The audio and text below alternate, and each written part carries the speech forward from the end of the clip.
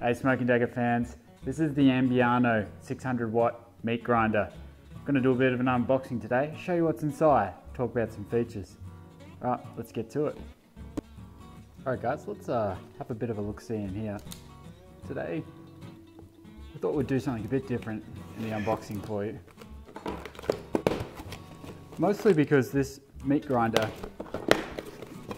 is the center of some online controversy.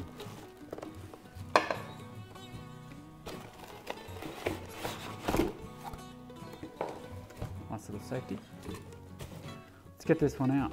So taking a bit of a look at what's in the box.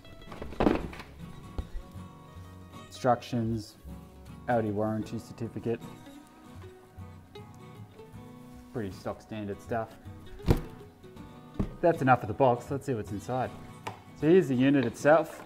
Excellent suction features on the bottom there. That will help with the stability when we're getting in and doing some grinding. Handy little child lock there. Also man lock. Uh, yeah, got some different plastics in the mix.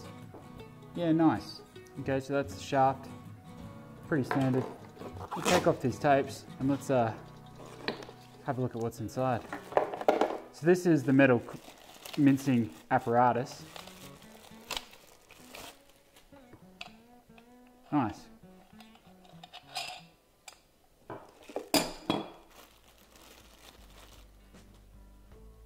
All looks to be machine cut.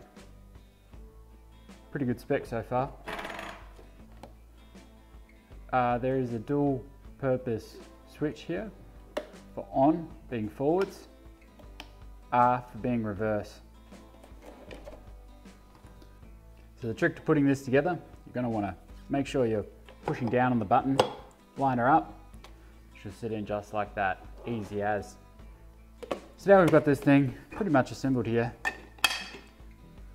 Just want to talk through some of the, I guess, highlighted points for this meat grinder. We've got a metal food tray, as you can see here. So that's going to be really good for cleaning up and as well for just making sure nothing gets contaminated on the way down. We've got um, the dual action forward and reverse switch. So that's going to be very useful in case your meat gets stuck mid-grind. You'll be able to back her up and make sure you're getting a nice even consistency in your, uh, in your grind there. Last one, we do have two included sizes. So we've got the medium and the coarse. So that gives you a bit of variability in, in the mincing that you're putting out there.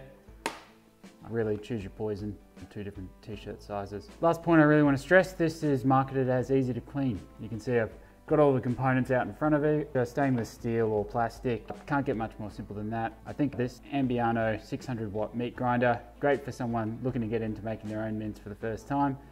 And uh, look, would this service an entire industrial kitchen? Of course not. This is an ALDI meat grinder. We'll give this a go and let you know our thoughts after a cook. Cheers.